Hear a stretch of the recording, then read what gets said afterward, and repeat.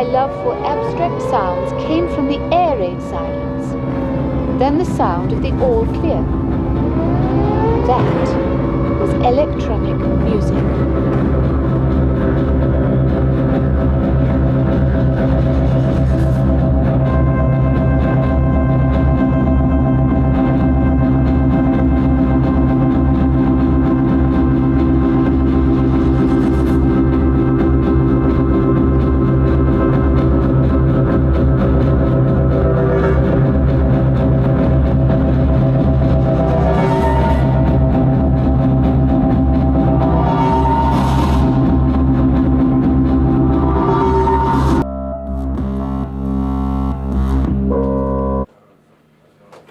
Started off as a byproduct of another project I was working on involving Mogwai playing in, in this cathedral and we were looking about having some incidental music before they came on stage.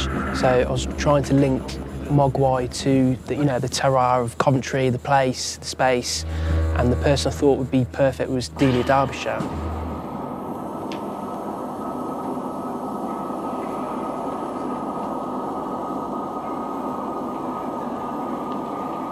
Trunk Records had recently reissued an undiscovered film of hers and Elsa Stansfield. I got in touch with Johnny Trunk, who runs Trunk Records. I had this idea of screening the film in the cathedral. So um, sit back or stand back and um, knowing that her 80th birthday was impending the next year to screen the film, maybe have 10, 15, 20 people turn up. Johnny Trunk emailed back, yeah, of course, you can do the screening, love to do it in a hometown. And then one day he emailed back saying, oh, I've got a friend who might would like to DJ. And I was like, okay, who, who's that? He said, Jerry Dammers has always wanted to play Delia's music in the cathedral. See, once you've got the nucleus of, of a night, a celebration, it evolved and we started thinking about getting other people. It was going to be Johnny Trunk, Jerry and Hal Round. And then we just started thinking, well, maybe we should get someone else to play. And I started thinking about getting Sonic Boom to play.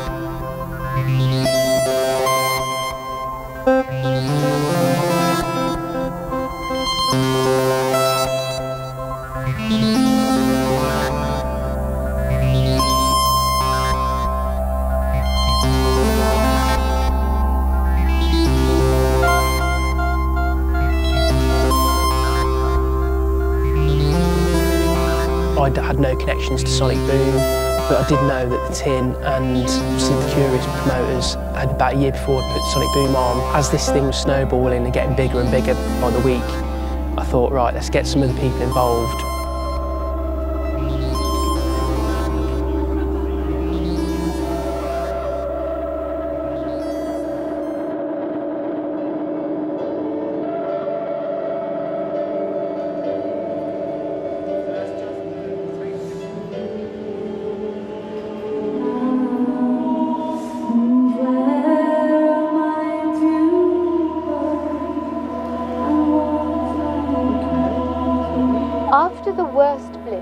Was shifted to Preston, where my parents came from. I was taken to benediction, and it was all in Latin, plain song hymns in an abstract language.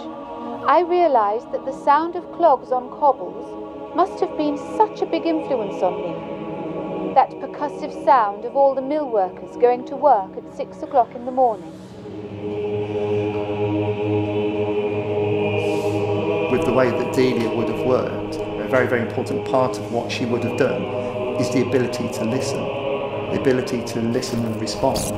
And, you know, in, as a first instance, actually identifying that a sound that you've got is worth capturing and manipulating. So that was what part of what we we're trying to do. We were trying to encourage the, the kids to, to listen to what was around them. You know, they know what their, what their palette of sounds is and, and they could then contribute their sounds into that into the music and you know decide what you like and then capture it and use it. I think the ability to listen is is uh, is incredibly important in creating music, particularly this type of music. Yeah, and seeing what comes out as well. Mm. Because I, I was quite keen to just see what comes out of the instrument. Not just Mm. the instrument, the, um, when I say the instrument, the sound. What comes out of it by the time you put it on pads Mm. and you've detuned it and you've laid it a few times, You've put a few wrong loops Well, in a- and it just gets all glitched and kind That, of that was another lovely. thing. That was another thing that we discussed. The Distortion um, as well. We, we, we, we had ideas for the project, but very early on we decided that actually the, the approach that we should take is that each school should really take their project in the direction that they wanted to.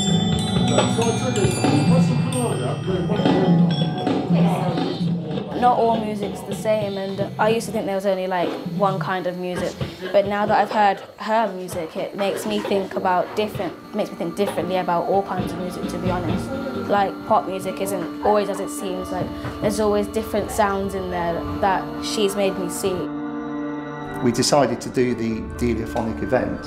And yeah, we started to talk about what that would be, where it would be, and who, who we could invite to play. And very quickly, I suggested that we do a schools project because it, it's something that Synth Curious had always wanted to do. I know it's something that Sarah from the Tin had always wanted to do. And it just it seemed perfect. It just seemed absolutely ideal that it was a way of educating people about Delia, introducing people to Delia's work, and, and by using some of the methods that she would have used, or you know the modern day equivalent of that, we could actually you know roll this out, you know take it into schools and uh, and, and have some fun with it. it. It was very much about getting the kids involved, getting them hands on. Like myself, Delia worked a lot with found sounds. So when we talk about found sounds, we mean making sounds from objects that you wouldn't consider musical. So she was very tuned in to sound and sound design as well as being musical. She brought those two worlds together. So for example, her most favourite instrument, her favourite instrument was known to be the Coolicon lampshade, which she found in Maida Vale, I think, BBC. And um, it's got a lovely gonging quality. I think electronic music again is a way in that's um, playful. It's in it's in an interface that kids can seem to be able to connect with quite easily via iPad. At the same time as they are going right back to the roots of all that tape looping, sampling, tape looping, sampling, and manipulating samples. Tape looping, sampling, tape looping, sampling, tape looping, sampling. I arrived in Manchester about the same time as Delia's Archive did in 2007, and um, I was booked to play at a festival that used to be called Futuresonic and um, the person who was sort of the artist liaison person, um, Tullis Rennie, said to me, you do realise that one of the godmothers of electronic music, her archives just arrived in Manchester. And I was like, wow, no and wow. And it took me about 18 months to pluck up the courage as a non-academic to approach the university and sort of say, oh, I'd like to do something with this. Could I do something? And um, yeah, and met the wonderful David Butler, who's the most approachable person, let alone academic, you could meet. And just sort of said to him, I'm really interested in maybe female artists, not just electronic, but female artists looking at Delia's work and seeing how that inspires new work for them. It goes back to the early 2000s, and Mark Ayres, who had um, helped to salvage the Radiophonic Workshop archive, he'd been slowly but surely um, working with that archive, cataloguing it, and, um, and was beginning to prepare um, releases of um, various projects, Radiophonic Workshop projects on CD. And this started off with um, Doctor Who scores and sound effects. And so I just finished my PhD, um, uh, which is about film music. And so I just got in touch with Mark. Essentially, just wrote him a fan letter and, and basically saying you know, how much I really loved his own work as a composer for Doctor, but also really um, appreciate what he was doing with the Radiophonic Workshop. And was there some way in which the university could help? And so he got back in touch and said that, that the BBC were retaining ownership, but there was this other archive which had recently been entrusted to him, and maybe we might be interested in doing something with that. And this was Delia's archive. And then in 2007, everything was in place for the archive to come to Manchester. The initial archive was mainly tapes and then paper documents, all relating to Delia's, primarily her freelance work. And then there's things in there which you can't even be certain that they're by Delia. Um, there's, there's off-air recordings of uh, music or copies of LPs. Um, And your initial reaction when you listen to that stuff is to go, oh no, that's because there's 267 tapes, and you're hoping initially that every tape is going to be another, you know, lost Delian work. Just the beginning. He said, yeah, that sounds like a nice idea, and we sort of took. So I then invited Naomi Kashiwagi and Ailís Ní Ríain um, to come on board. And Ailís is a classical composer, and Naomi's more of a sort of sound visual artist. So um, the three of us commissioned. Um, we got Arts Council funding to commission ourselves to write a response to Delia's archive. And then also uh, it was Ailís's idea. Well, let's make a day of it. Let's do a symposium. Let's and then we came up with the Delia Derbyshire Day idea. She had different tape machines and she could play them together, which is really, really, really hard. Played with like instruments, didn't she? Yeah. Kind of mixed them like a DJ.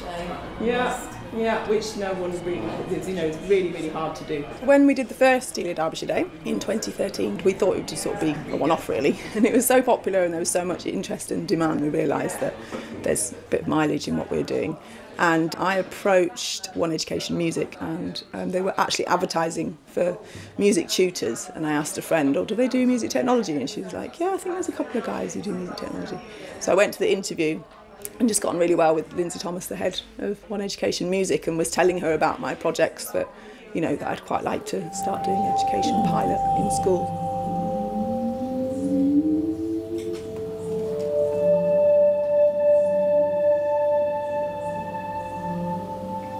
Delia Derbyshire Day began, first of all, as a one-off event, which uh, goes back to 2013. And I was approached by Carol Churchill about an event that she was wanting to organise, which would celebrate Delia's work. And in particular, it would be uh, a series of um, new pieces, new commissions. And so Carol had formed a trio. Their name at the time was Delia Darlings. And uh, the three works were very different in style. So um, uh, Carol's was much more electronic based and more in a kind of sort of more of a Delian aesthetic in terms of perform live. As she was performing, she was generating sounds and then sampling those sounds and manipulating them live. And that was at Band on the Wall uh, in Manchester, and uh, it was a great success. They sold out. So I think the feeling from Carol from that was, you know, there was more that could be done. And certainly from my point of view with the archive, I was thrilled to bits that this was happening because I'd always wanted, when the archive first came here, I, I said that, you know, I, I wanted it to be a living, breathing archive. In other words, that it was going to continue to generate new work. But it was quite important. We didn't want these pieces to be slavishly derivative of Delia. I think the principle of Delia Derbyshire Day was certainly to celebrate her, but we don't just want people to be like Delian clones. And I know Carol feels this very strongly. It's very important to me as well that we feel that that would not be respecting Delia's innovative, idiosyncratic nature.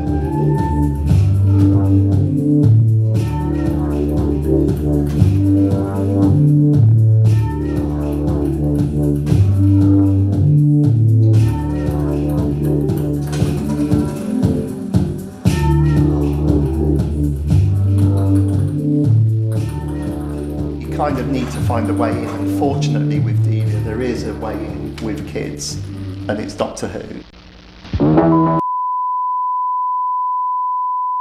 Certainly, the most famous thing that she did.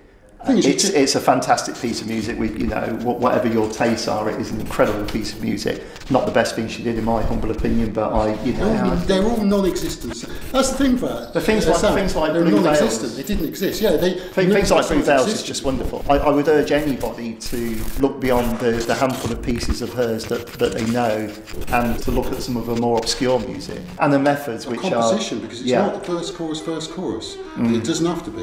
And the methods of composition and the understanding of the composers from that period in time, the 50s and the 60s, really did filter into modern music. Absolutely. It's inspiring for kids because we could show them techniques that Delia used, so kind of changing pitch and reversing things, and you know her, some of her methods that, that we can translate to GarageBand on the, on the iPad. So it's very, it's quite instant in some in some senses, but also you know you do find young so young people really get into it and they can really sort of experiment with the sounds. I find that the tools that we use or that I've chosen to use seem to be quite intuitive and the kids pick them up quite quickly. So what happens is they towards the end of the fight week mm-hmm. course, you know, so on the penultimate session, I'll say to them, good news, bad news. Bad news is it's our last week next week, and they'll go, ah. and then the good news is you won't need me anymore. And then some of them have actually asked to set up lunchtime clubs or after school clubs, or they've wanted to keep it going, or they'll be ambassadors or champions of um, teaching electronic music to other years in the school. We had the sounds loaded up. We had we had mini keyboards We also had trigger pads. And I think we had seven or eight of those. Yeah, yeah. Uh, which which There's you know obviously six? It's, it's three of the um, Three pads. trigger pads. Yeah. And then three of the Ackroyd actual keyboard Yeah. keyboards, like, proper keyboard. Yeah.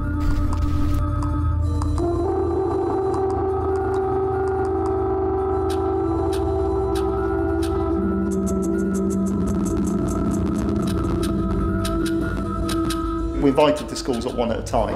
Obviously, they were playing the sounds that they had created, and we'd, we'd even labelled the keyboard so that we could actually give the pupils the sounds that they had actually created themselves, which again was really important to them and, to us as well. Because they, they continue each each of the sessions. The, the each of the sessions built up because each time we'd be recording sounds, then they'd be playing with those sounds. Each of the sessions built up over, over a period of time to be kind of workshops in that they would be performing and using these sounds.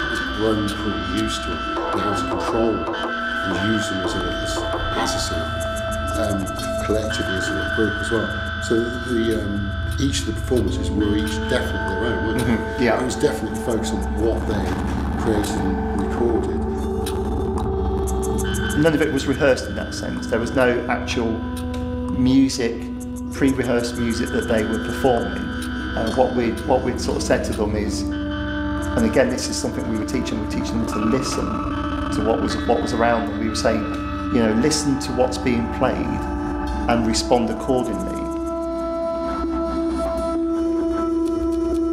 It's sort of it's strange isn't when you're working with sounds. You don't sort of compose it, do you? It sort of happens. You kind of, hmm. it's, a, it's an element of response to what takes place at all Yes. times, isn't We it? were, we, were, we were trying to free up their, we were trying to break down some of their musical ideals that they would have had and, and just get them to take and a free approach to it. and Yeah. responding as a musician is, is, the, is the kind of working as a team in a group of people in response to the sounds that you hear was, was really important in as well because that's helped them to develop a musical a musical understanding of I'm not really playing an instrument but but it is an instrument because it's a sound source that you create and manipulate. But you take away the instrument itself and the kids are playing the sounds and it very quickly you would find that the that the kids would want to own the sounds that they're creating.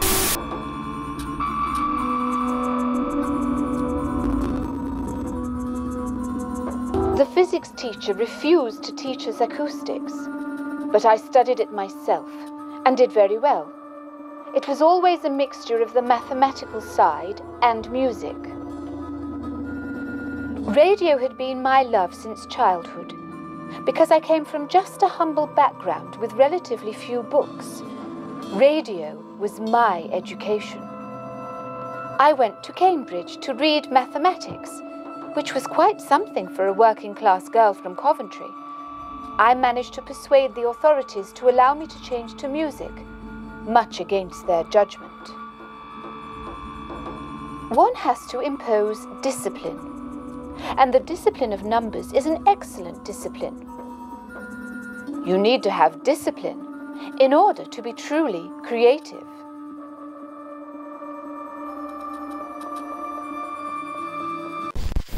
To me, it's still exploring and trying to find something new. And I, and I think, you know, science, mathematics, I think, and art, there's always something that links together. There's always that kind of exploration and curiosity that inventors, like I consider her an inventor, need to have to kind of break the boundaries, to move on, to move forward, to be independent thinker, which she was.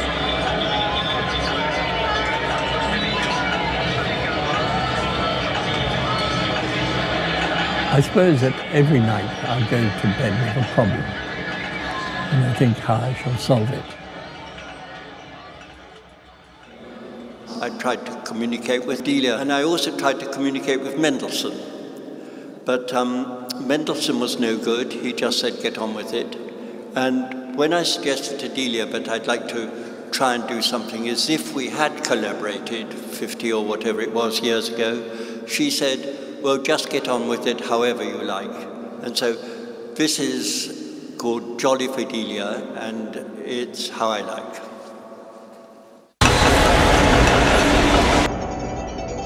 In those days, it would be how I would type out the bit of code needed to achieve something. Now it would be much more visually looking at a screen and seeing where I will put the pointer and should I slow this down or speed it up. It's so the Synth Curious guys are very keen to put Dr. Peter Zinovieff on.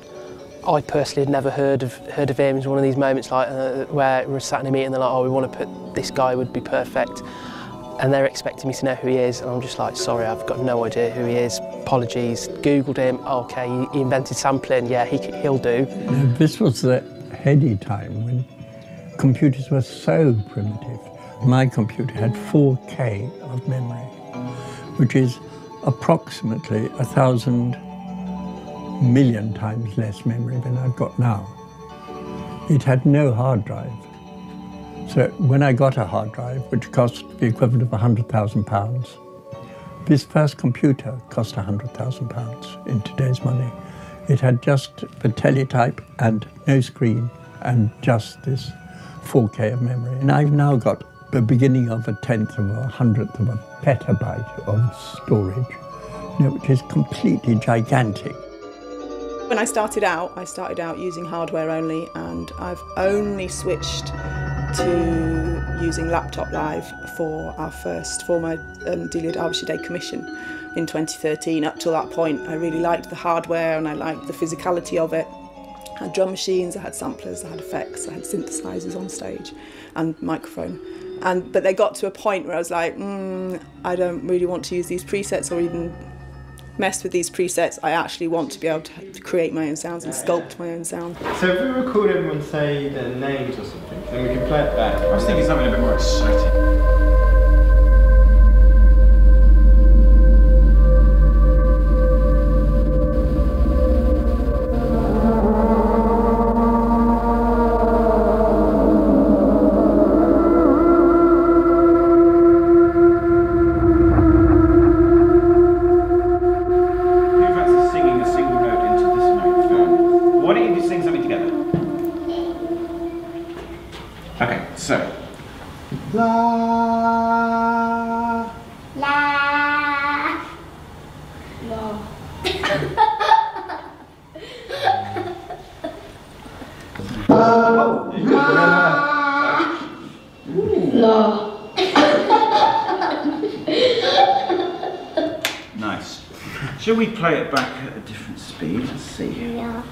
Three and three quarter inches. Back. Let's see what we get.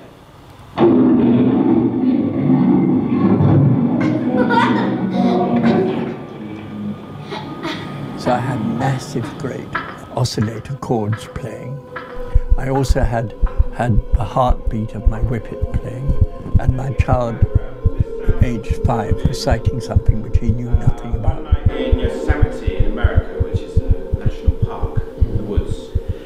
friend has a cabin there that belongs to her grandparents. And after dark, there's not much to do there. It's cold, it's dark, there's bears. You know, so you can't really go out much after the bar's shut. So I went around her little, this little cabin looking for sounds that made, for things that made interesting noises. And um, that and the fact that I was a bit hungry led me to the kitchen.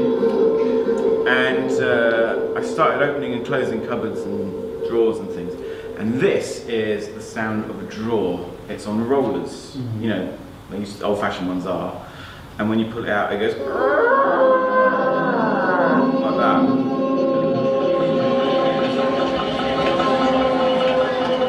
Yeah, there's a blind crossing in Sweden, going tap, tap, tap, tap. There's a supermarket in Budapest, which is a chat, which is a chatter and then there's a tune going on in the background. Way Delia worked was complex. At the same time, it was sort of there was there's fundamental sound manipulation and sound recording um, techniques really. So um, basically, what we do when we deconstruct the Doctor Who theme um, as a starting point, as a springboard for inspiration and musical education.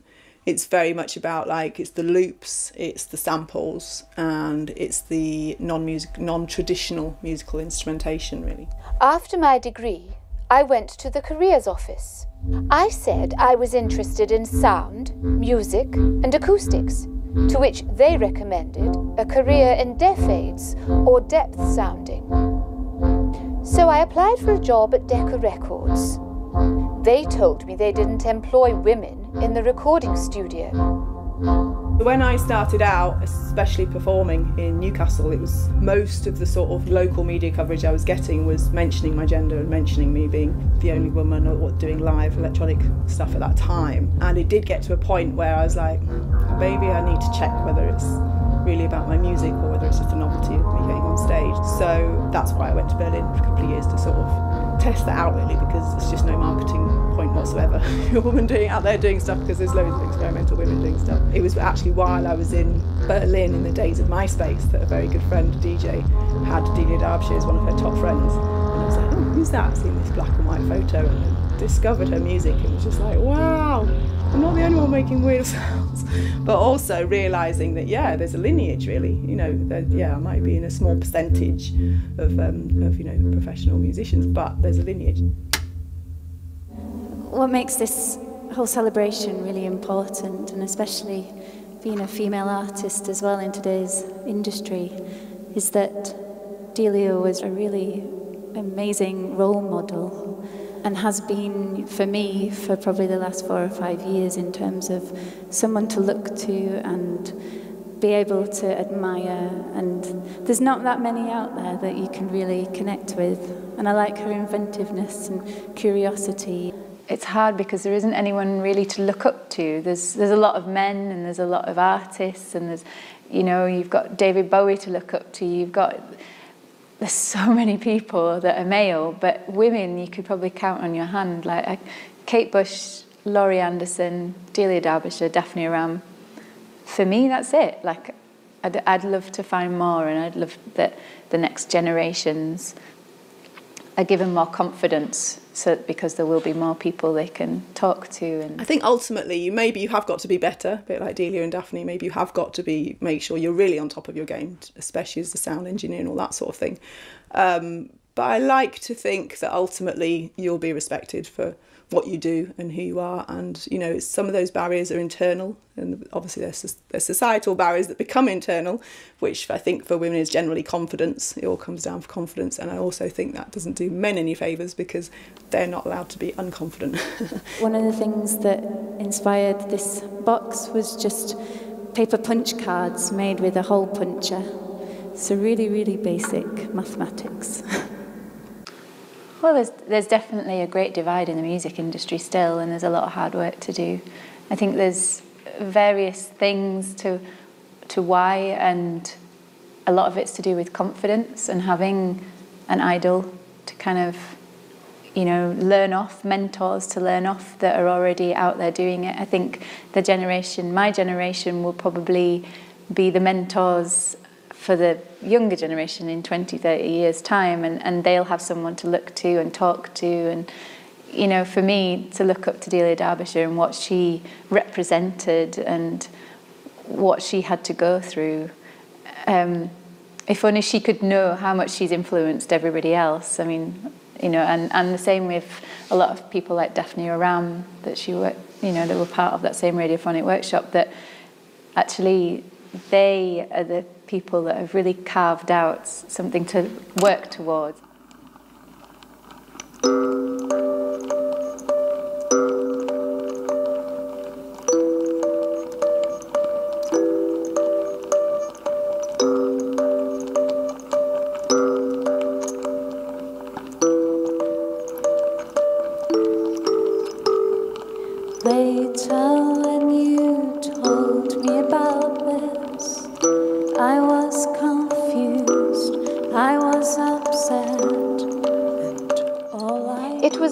My little ambition to get into the BBC. The radiophonic workshop was credited with doing fantastic sounds for broadcast programmes. People weren't generally allowed to work at the workshop for more than three months at a time. They thought it would send people crazy. Well, it's a beautiful way to be crazy, I can tell you.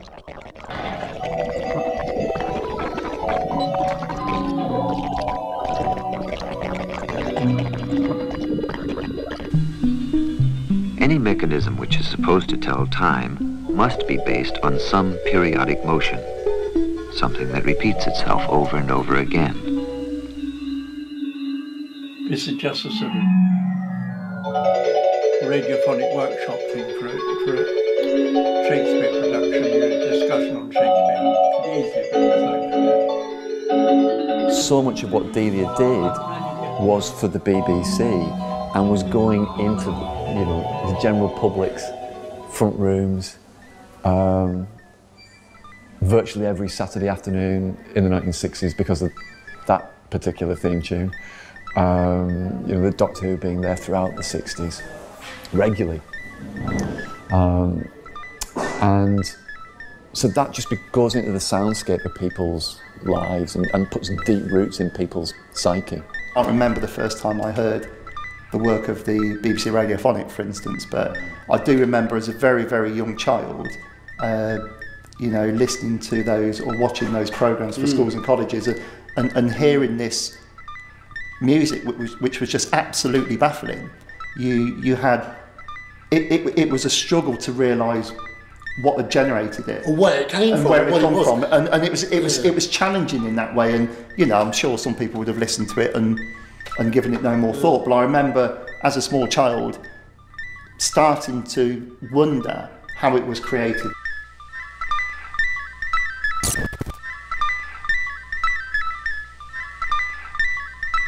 Now, it was very difficult to make any meaningful music there. I tried to, to have lots of different patch panels, and in the end, I invented this matrix pin method I found in an old junk shop in London. I literally, there must be 20, 30 miles of cables behind all this.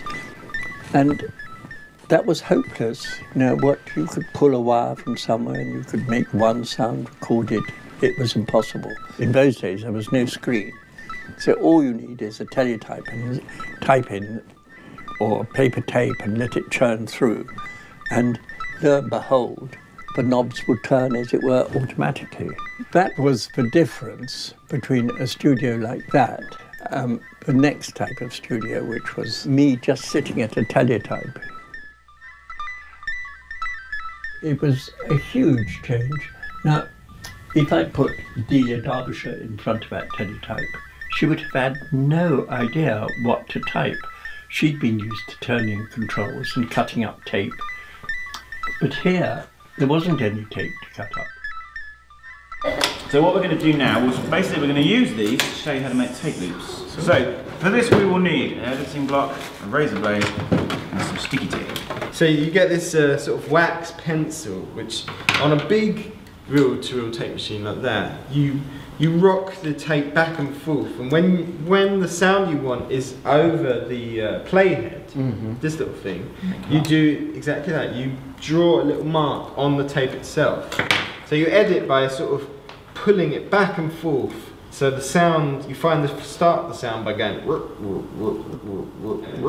Tape is one of the more significant elements of de- defining our age as well as far as music is concerned, isn't it? Because the multi-track recorder. I think the I multi-track think I think the advent of tape just basically took us to a point where anything that Mm. makes a noise Mm. can be used to create Well, you can record it freely, couldn't you? And then, then slow it down readily Mhm. and overlay them as well with sound on sound. Normally you want the exact spot because the tiniest little difference can make all the difference.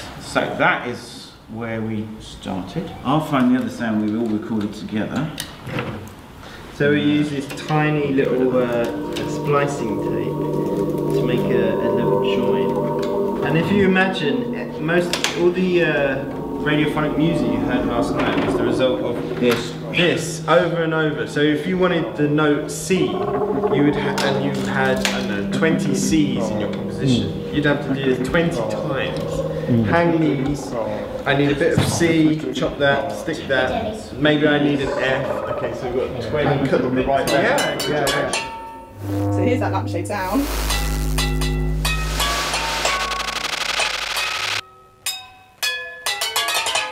So then, what's great about, which I couldn't believe, GarageBand is now free, and um, with this, it's a pitch shifting sampler. So you've got that original note somewhere around there, but you can then make a melody out of that by just playing. So for Delia's, in Delia's day, for example, she obviously didn't have this. She was using tape, so each little sample would be one little block of tape, and she would increase or decrease the speed of that, which would then change the pitch, how high or how low the sound is. Basically, every time you half the speed of the tape, you take it down by an octave, which is lucky. Should we try? Should Yeah, so let's take it down a couple more. Flip it down. So half of 19 is 9.5. So as Robin says, now it's kind of down an octave. Always deeper, it's darker. Much deeper. So sinister Yeah. This one, slowest speed, is very slow. 2.4 centimeters a second. That's very Play it. It's like yeah, yeah. the lowest note. It's in the drawer now. Why does Yeah. it get really deep when it goes really slow? It's the number of sound waves per phase. Yeah. So if you increase the phase, you decrease the number of sound waves, so your frequency drops. If between there and there you had 10 peaks in your frequency and you stretched it to twice the length, you would still have 10, but they would be over double the hmm. time. So in the old days, it was completely impossible. The studios were so fundamentally complicated that nobody could actually do it. This was one of the troubles when, with Brian Hodgson and Delia Derbyshire. I had this very good studio. It was the only computer in the world operating electronic music equipment, but only I could actually do it. And I didn't really want to do it. I wanted to, to change it and make something newer and better. So each day I sort of dismantled things, put it together, because the whole thing was very fast. Over a very few years, it changed from a completely uh, manual studio into his um, computer controlled studio. This is the thing that a lot of like people like Orbital and people like that, they were like, it was their first electronic music they've heard. They've always used to people, you know, Bob Dylan, mum, and, then out of nowhere, this thing being beamed into them when they're like six and seven. It's like. The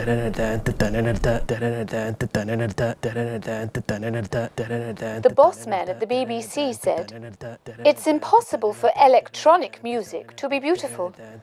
Until Delia came along. I used to work all night. At night, I could use all of the studio's equipment. But this loop I made in the middle of the day. It went out through the double doors and then through the next pair, just opposite the ladies' toilet and reception. The longest corridor in London with the longest tape loop.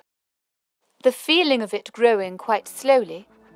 When you hear it for the first time, when it's put together, it's such a delight. All this that you see here should impinge upon the emotions and feelings directly. The nature of Delia's kind of uh, back catalogue of music, when you play that to children now, um, it's a very, very different sonic sphere to the environment they're born into. And the environment that the internet kind of that they're all kind of constantly connected to develop has developed for them. Um, it's a very kind it, it really just how, it reminds you how much of a focus Delia has on a very personal and um, inward looking nature of electronic sound in many ways I think. And she really brought the, the, the, the human nature of electronic sound to electronic sound in some ways because prior to that it was all what was the, the performance of um, that the, the famous one where I can't remember was they they've got this massive rack well not massive it's quite small by today's standards they a little rack and they just set it up and go there I'm flicking the switch. At the Queen Elizabeth Hall in London, there was a full house of 1,300 people, 300 people turned away in 1967. And we gave a concert every year at the Queen Elizabeth Hall, and each time it was full up.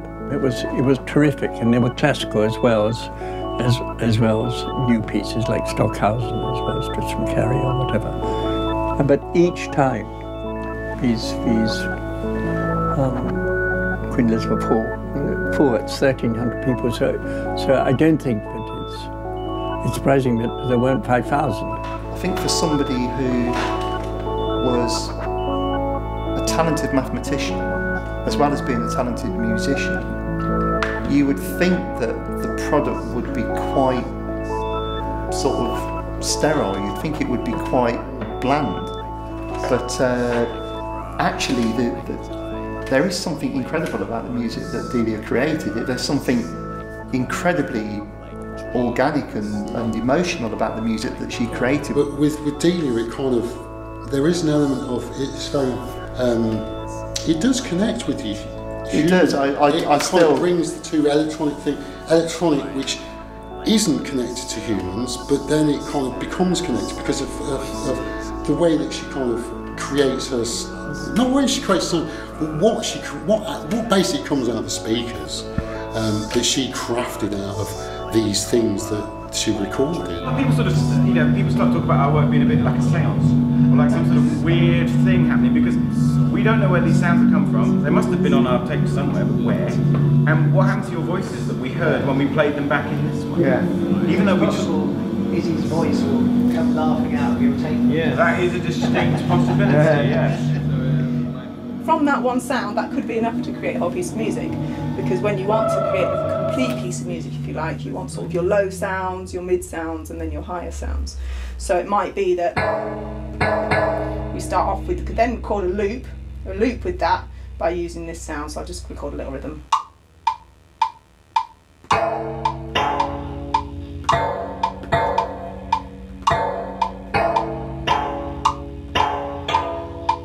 There's a little loop. That could be a rhythm, sort of bass line kind of loop. And then we can just loop that. And then we can do another one. We'll go back actually and we'll duplicate that. We can duplicate that track. So again, this is loads quicker. It took Delia 40 days to make the Doctor Who theme. It took me a day to do a very rough and ready modern digital version of the Doctor Who theme. So um, now we've got that lower sound, if you like. We can put something in on top. Let's pitch it up just a little bit. So with that. It could just be the... And it, I mean, so basically our live sets are a combination of just improvising with this, this bank of materials and, and a question of very simple, we're just changing speeds, mixing, uh, effects, EQing. It's very, I mean, you can tell this mixing this is quite, quite straightforward. How strange you can make it. You lose things with tape. It starts to transform it. Like already you're sort of, you take a sound that you know what it was when you recorded it, but after a few passes around the loop, you're like, what was this again? It?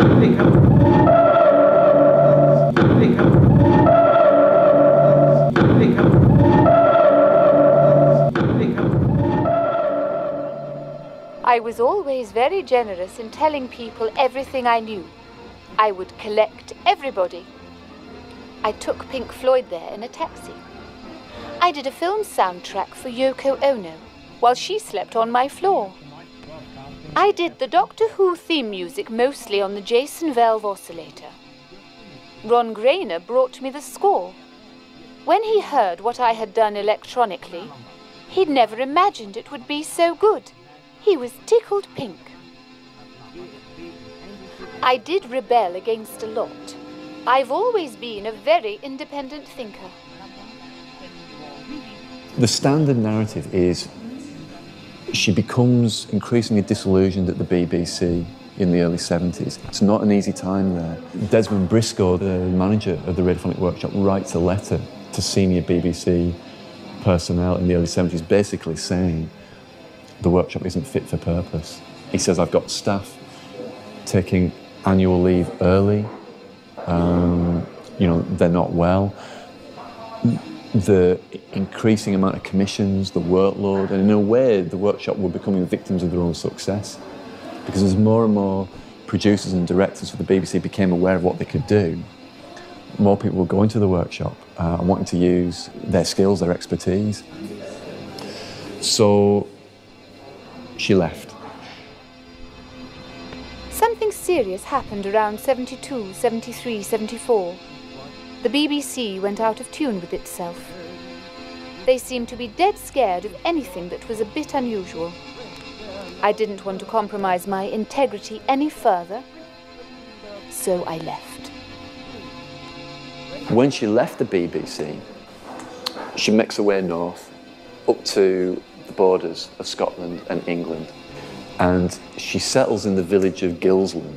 She went up there to become a radio operator for land pipelines. And there are the reports of people who worked with her who said she um, was brilliant at the job and everybody who worked with her respected her and her abilities and skills. It just it doesn't fit with the narrative of what, what you know many people think an artist should be doing. And that idea that when she goes up north, that these are these are lost years, these are failed years, rather than see it, that denies her agency. It denies her. I'm making the decision. I don't want to do that anymore. While she's up there, she married a, local labourer, David Hunter.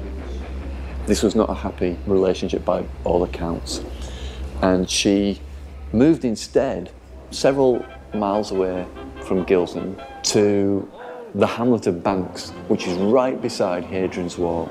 And there she worked and lived in the LYC Museum and Gallery. Now, the LYC was this extraordinary community art centre established by the Chinese born artist Li Yuan-chia. And she's there across 1976 and 1977.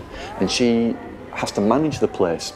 Now, Lee had been visited a couple of times by various journalists and things wanting to report about, you know, what, what was this what was this magical place? And you look at some of the newspaper reports and they say this is incredible, but he desperately needs somebody to help him run this place. And Delia is perfectly suited to doing this. Before she joined the Radiophonic Workshop, when she first joined the BBC, she was a studio manager. And so she would be liaising with the artists, booking them in, helping to, you know, with, the, with exhibiting them. Um, she exhibits uh, while she's there Madeline Hooykaas and Elsa Stansfield, people she'd already worked on previously. So this is not this, you know, for, to pitch this as being this, she, you know, she's gone into the wilderness. And it's not really the wilderness. There's still a lot of myths, rumours, and erroneous notions about, about what happened to her. And the main one is this sense that she did absolutely nothing at all, or this slow decline.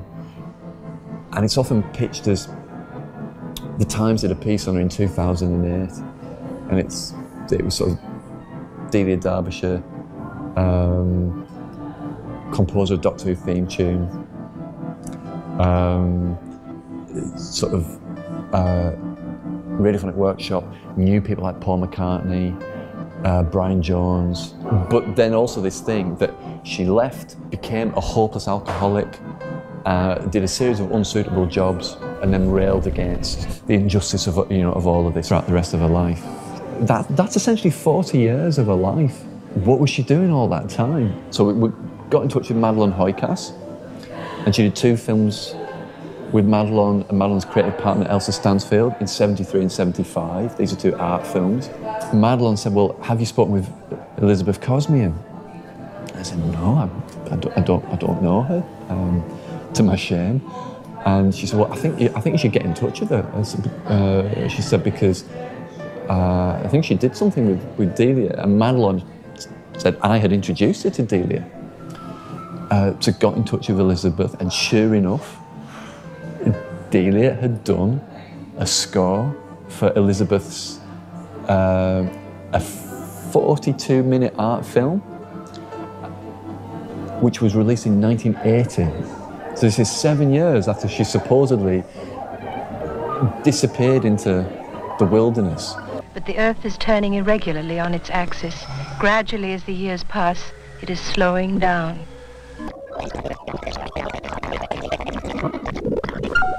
We have an unexpected clue as to the workings of time on the very long scale. Over the, the turn of the last century, the 1900s, music and electronic ideals from, from that period have become so integrated and part of everyday culture and life. And the way it's happened is is through people like Delia, isn't it? Mm, because of absolutely. methods. One of the most significant composers of the last century, Luciano Berio, in serialist music, is connected to Schoenberg.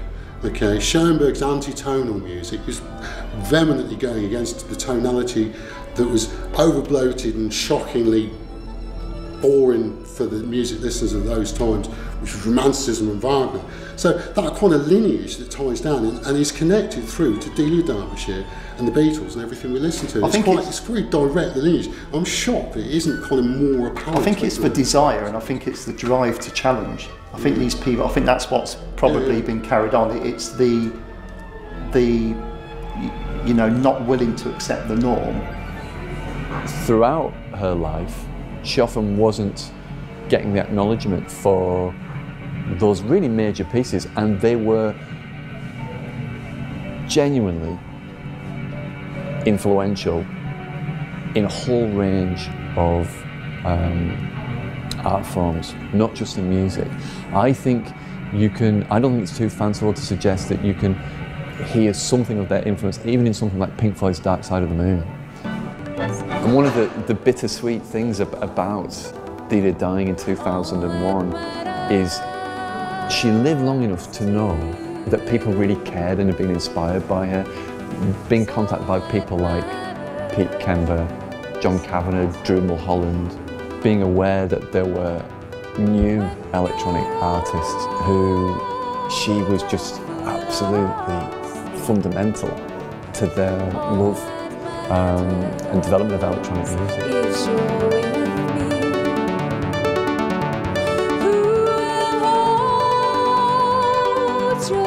Was expecting 10 people to come to see a projection on a wall. So hearing there was more people coming was always good for me, but Sarah, who runs the tin, it was her financial risk. So it was a bit worrying for her when the tickets weren't selling so well. Eventually, from slow ticket sales to on the night when there was 500 people here, We shouldn't have to be owned by the products that we buy, and the sound that we create shouldn't be owned by that product. So a piano's always going to sound like a piano, but we kind of create our kind of context of the, the voice of us, of what we are, through it. It was important to us that everybody involved in the sessions were creating their own sound. Yeah, and they can have access to it as well outside as well because it's not just what they did in, in the session. It's kind of, for me, it was generating that kind of interest of, oh my god, I can do this on my laptop. I didn't realise I could do that. And yet, and yet we're doing that. Yet we're doing that, but I can't play musical instruments. Yeah, exactly. She never, never knew that 500 people would be in, in, the, in her hometown cathedral being enthralled by her and have this legacy that she's now got. Unfortunately, never got to see anything like, like the evening that we, we did for her. I enjoy it because for me, I'm passing on my passion, my joy, my wonder, and my dedication to what I do at the same time as I'm opening it up for them to interpret that and do what they will with that. And that's really something that's important to me is to trying to nurture autonomy and empowerment, not my agenda of what I want to be done at the end of five weeks. You know, it's I want it to be on their terms and I want them to tell me, you know, what they think in a sense. I mean, we're both quite interested in how old technology can be used with new ideas. Like, there's like obviously there's a retro element, but it's more that these machines haven't finished what they can provide to culture. She's an unusual woman in electronic music, making this this this thing in a, in a male world. She's like a cool, unusual thing. Hung out with the Beatles and Yoko Ono. You know, it's like is this real, like genuinely cutting edge figure that was cooler than everyone else. In the last few years, the Radiophonic Workshop, uh, some of its surviving members have reformed and they are, um, they've been gigging again. The love that's in those rooms when they perform is, is you can feel it. And in there, they make a point of featuring uh, Delia and they're also doing uh, collages of Delia's material so that Delia is still very much part of the radiophonic workshop. It's very important for them that she is featured prominently uh, at the concerts that they give. And I, just think she'd have been absolutely thrilled to bits. She would have said tickle pink. Um, but, uh, and, I- and I think would, would, would have wanted to be part of that in some, in some way. Certainly part of the conversation, but I think she would have created something as well. Um, the world had caught up with her.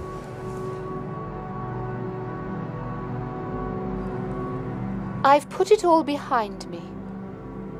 It's the doing of it that was the pleasure, really. I can still hear beautiful things in my mind, and I know how I can make more beautiful things too. That's the important thing. It's like,